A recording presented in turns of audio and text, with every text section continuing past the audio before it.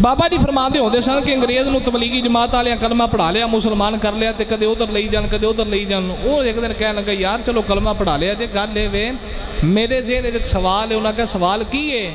वो कहने लगा दसो मैं हैरान हाँ अख चपकन तो पहले तख्ते बिलकीस किमें आया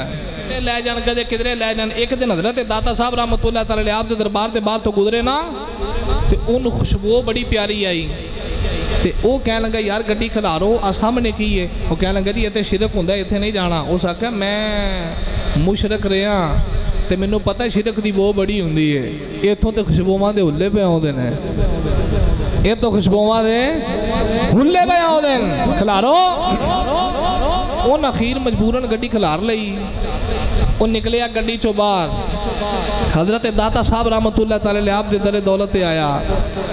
सामने मुलाकात हो गई एक खूबसूरत ते चिट्टी दाढ़ी वाले बाबे नाल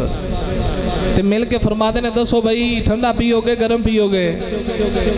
ते ओ सी जरा ठंडे इलाके दा कहने लगा बाबा जी ठंडा ते नहीं गर्म चल जाएगा चाय पीनी है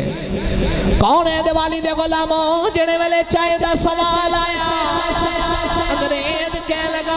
मेरी चाय पीवागा, मैं ठंडा नहीं, मैं गर्म पीना है। बाबा जी ने एन करके अखा बंद की दिया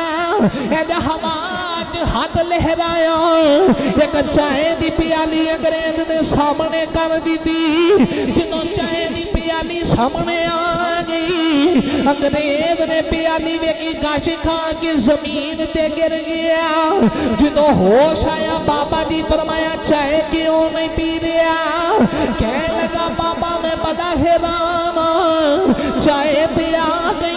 सर में प्याली वेख के बेहोश होया जड़ी प्याली दे अंदर चाय पै देंदी ओ प्याली लंदन मेरे घर दी है। प्याली इथों दी नहीं, मेरे